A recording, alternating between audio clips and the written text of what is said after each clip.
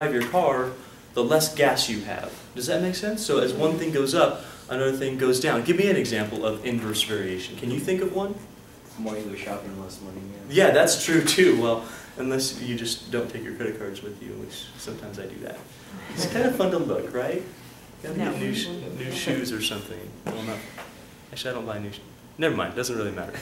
I go car shopping. I love shopping for cars. Just drive around, free, uh, free trip around the city if you like. Sometimes they let you stop off and get a Slurpee sometimes too. If, they're, if they really want to make the sale, they'll let you do that. Give me a different example of inverse variation. One thing goes up, and another thing goes down. Maybe your electricity, um, the more you have to pay, or the, I mean, the, on the left side of the, the one. Yeah, it'd be direct, right? The, Yeah. the longer you leave it on, the, the more you have to pay. Okay, so we have another direct. Anybody else? The Have more exercise you do, the less weight you have. Very good. Okay, so the more you exercise, the less weight you have, unless you're, you're just pumping iron, right? Daniel, he, he's getting he's seriously buff in there. But, uh, but yeah, the, the more you exercise, typically the less, maybe the less fat you have, the less you're, you're gonna you're gonna have that on your body. So, very good examples of inverse variation. Here's the idea: with inverse variation, or in other words, we'll use some variables here. If y varies inversely as x,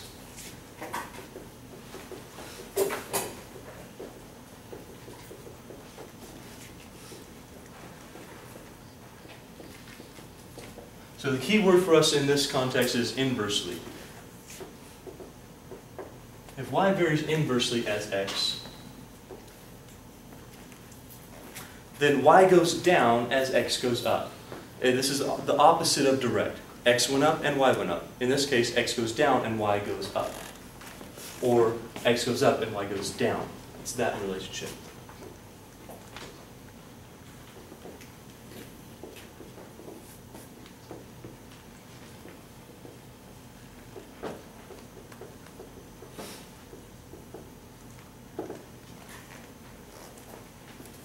The way we can get from direct to inverse, if direct was k times something, k times, as, as this thing goes up, we're multiplying it by some multiplier, it's making a larger quantity, it's making this quantity larger. In order to raise a number and have something else go down, that's going to represent a fraction, because as you make a denominator larger, the value of that number drops. Does that make sense to you? So if I took the number 5, if I divided it by 7, that's probably a bad example. Let's say uh, 35. If I divide that by 7, we're going to get 5, right? If I divide that by 10, we're going to get 3.5. Does that make sense? If I divide it by 35, I'm going to get 1. If I keep going, if I divide it by 70, I get 1 half. So as this number grows, this quantity becomes smaller. Do you see the, the idea there? So this idea of this division, this is what inversely proportional is all about. It says if y is going down as x is going up, really what we have is y varies inversely, or y equals k, not times. Times would be the direct. Times means as we're multiplying, it's going to go higher. k over, and this is what I talked about yesterday, uh, making sure we knew that direct was k times, because now for inverse we're going to have k over. So when you see the word direct, we mean k times. When we say the word inverse, we mean k over. And this is the reason why. As x is getting larger, this k, that's a constant again. Constant variation, that's not changing. This quantity altogether will get smaller, just like this example I showed you. So again, k is a constant. That's not changing.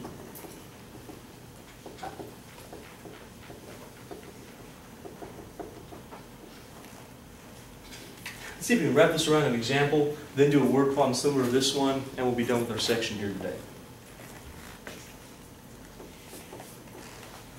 Okay, so let's suppose y varies inversely as x.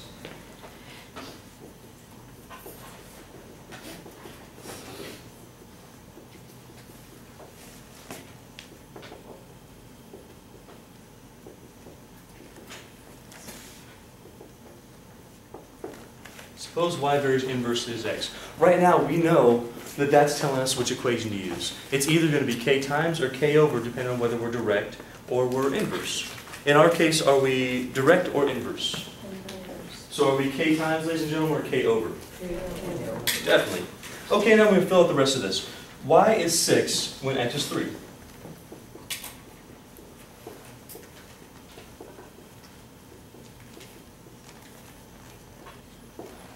Well, that's going to be important just a bit. What we're going to try to do is find k and again set up the equation.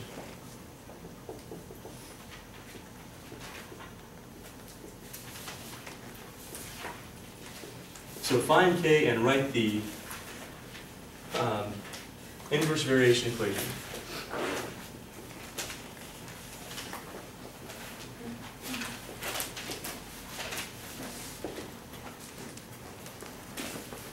So read through a problem one more time. Suppose y varies inversely as x. We're not dealing with direct right now. We're not k times. We're going to be k over. We just talked about that. So when we set up our problem, which letter is going to come first in our case, y or x? Y, yeah, that's right. Because when we're looking at this direct and inverse variation, whatever, whatever's varying directly or varying inversely as the other thing, that comes first. So if y is varying inversely as x, the y comes first in our equation. It says y equals, and then we have to realize that inversely means, well, that's k over. So we're going to, write y equals k over x. This really says the same thing as y varies inversely as x. That's all it means. What do we do now? Yeah, same thing we just did, right? Same exact thing. So when we plug these in or substitute them in, how much is y for us? What's that say? Six, six, six. So 6 doesn't change. Uh, how about the k? Do we change the k right now? No. No, that's what we're really looking for. So k stays there, and over, oh boy, oh boy. How do we solve for that? Multiply by two. Good, yeah. This is k divided by 3, right? How do you get rid of divided by 3? What's the inverse operation? Let's multiply. As long as you're doing it on both sides, you can do almost anything to an equation. So we're going to choose to multiply by 3. Or if you really want to think about it like this, you're multiplying by 3 over 1, right? Multiplying fractions like that. That means you can simplify them as you go. And on the left-hand side, we'll multiply by 3.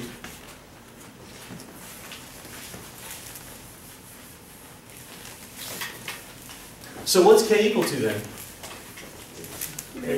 Sure. Yeah, we'll do the 3 times the 6. We'll get, these 3's are gone, leaving us with the k. That's what we wanted to have happen there. 18 equals k.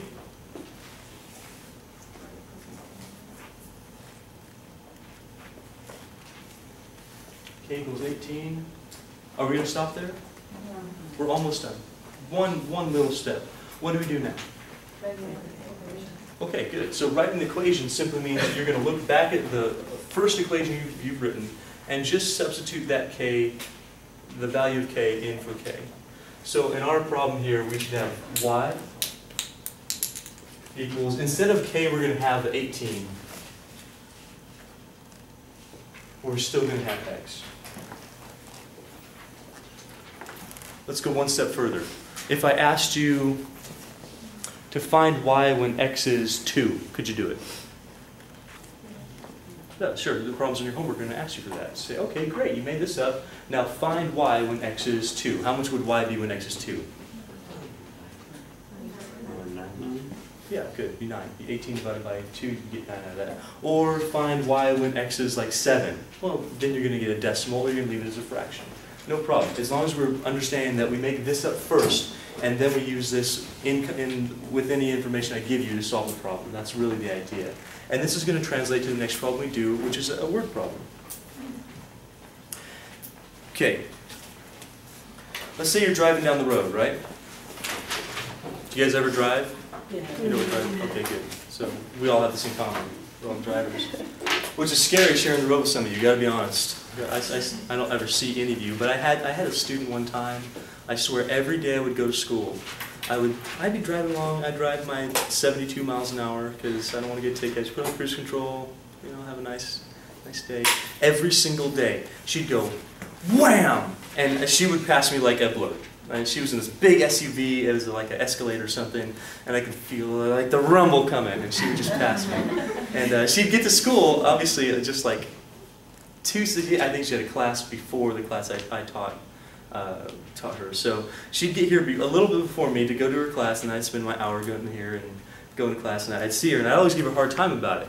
But the point is that we went the same distance, right? We went the same distance. Who did it take longer to get here? We came from the same spot, by the way. She lived right down the street from me. So we lived like maybe a quarter of a mile away, and we came to the same exact spot. Who did it take longer to get here, me or her? You, Of course. Why?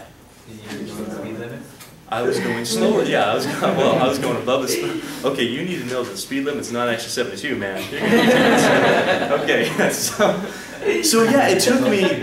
Of course, it took me long. The limit is how fast my car can go, obviously.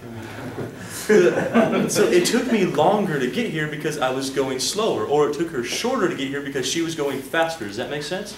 In other words, the time it takes you to get somewhere is inversely proportional to the speed in which you're going. Right? So the faster you're going, the shorter it's going to take to get there, or the slower you're going, the longer it's going to take to get there. Those are that's an inverse variation problem right there. So we're going to say this: the speed needed to travel a certain distance is inversely proportional to the time the distance can be driven. Or inversely, let's leave it at time. So the speed needed to travel a certain distance. So the distance is not something that's changing here. We're, we're going the same distance. Me and the, the student of mine, we're going the same exact distance.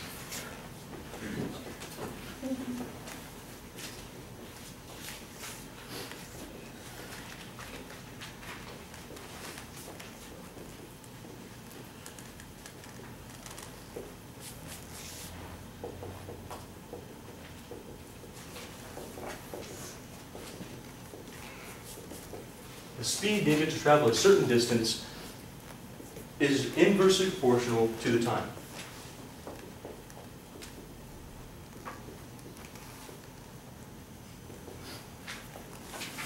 Let's spell that wrong.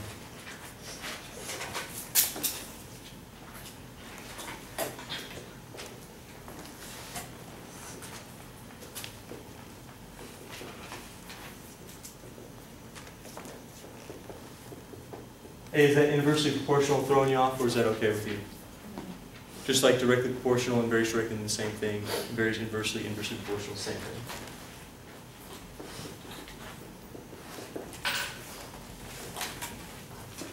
Speed needed to travel a certain distance is inversely proportional to the time. Let's say this. The distance can be driven in five hours at a rate of 24 miles an hour. That's really slow. Let's make it faster than that. Let's make it like 70.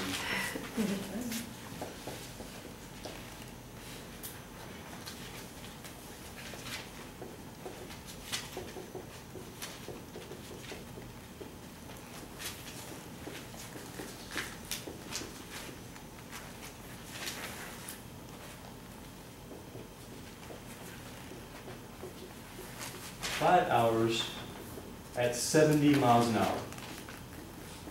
That's me. Let's see.